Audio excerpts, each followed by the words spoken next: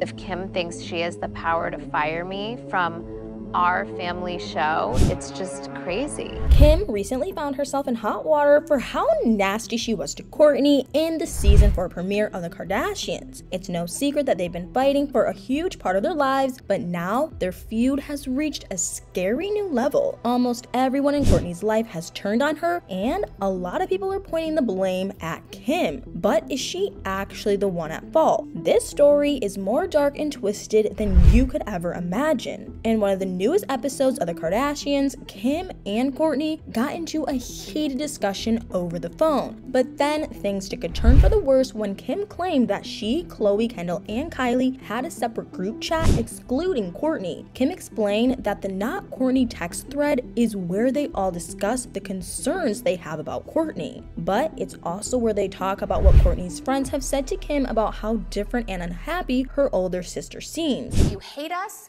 you you're a different person we all talk about it but kim made the feud even messier when she crossed a major line your kids have even come to me with problems that they have and how you are so Kim made it seem like pretty much everyone was in agreement with her, including Mason, Penelope, and Rain. It's no wonder Kourtney was so hurt. It's you and my friends and my kids and everyone against me. But is Kim really the reason why everyone has turned their backs on Kourtney? Some people believe that Kourtney has actually been playing the victim. Considering how rude she could be to her sisters in the past, not everyone is convinced that she's completely innocent. I don't get people that are so selfish like you. It's disgusting to be related to you. Kourtney has obviously made some harsh, unnecessary comments to her family members, but when she was interviewed for an episode of Amanda Hirsch's Not Skinny But Not Fat podcast last year, she made a surprising revelation. Kourtney confessed that she and Khloé used to be kind of mean spirited with how they treated Kim when they were upset with her, but at some point around 2017, that dynamic totally flipped. Kourtney explained that because Khloé and Kim were expecting babies at basically the same time, they grew closer and formed a special bond. But Kourtney was also going through a lot of changes. I think I also started therapy at the time and then became more self aware. There have definitely been times when Kourtney has said cruel things to her sisters, but therapy really helped her to learn how to control her hurt and anger. It's clear that she's made an effort to change her harmful behavior over the years. That doesn't mean it's impossible for Kourtney to cause problems in her personal relationships. But at around the same time, Kim also started to take advantage of her role in the family in such a disturbing way. As crazy as it may seem, Kim might have actually caused some of Kourtney's loved ones to turn against her. And judging from what Kourtney said during the phone call, she can see right through Kim's shady behavior. You are a narcissist. It is all about you. Interestingly, right after Kourtney said that, Kim started dragging everyone else into the argument. She used Kourtney's friends and even her own children against her, which is a manipulative tactic that narcissists regularly use. But that's not all.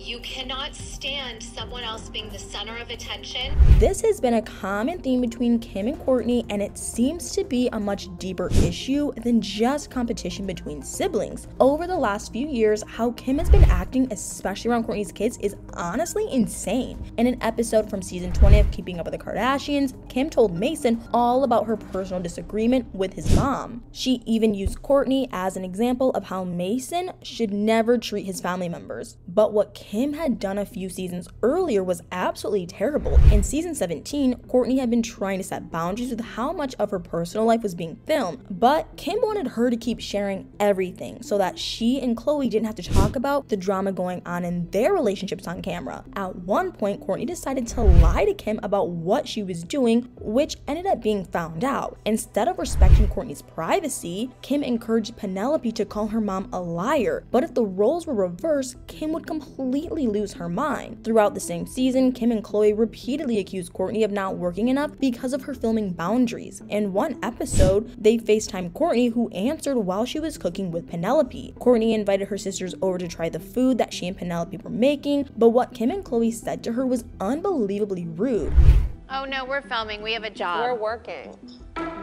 We have a job. Kim then threatened to fire Kourtney from the family show when Penelope was right next to her. She clearly doesn't see anything wrong with bad mouthing Kourtney to her own kids. But when it comes to Kim's other nieces and nephews, it's the total opposite. When Kim made a guest appearance on Jimmy Kimmel Live, she was asked what was going on between Blac Chyna and the Kardashians. She revealed that she wasn't going to speak about Chyna because she would always be the mother of her niece Dream. Kim has also mentioned that she never says anything bad about Kanye in front of their kids because she doesn't want to negatively influence their relationships with him. She even protects them from learning about his controversies by not allowing them to watch TV. So why does Kim refuse to give Kourtney even a minimal amount of respect? In true narcissist form, Kim tries to make others seem bad, or at least worse than her. She's obsessed with staying relevant, being the most successful, and having the best public image. But when a narcissist gets exposed, they usually resort to a smear campaign,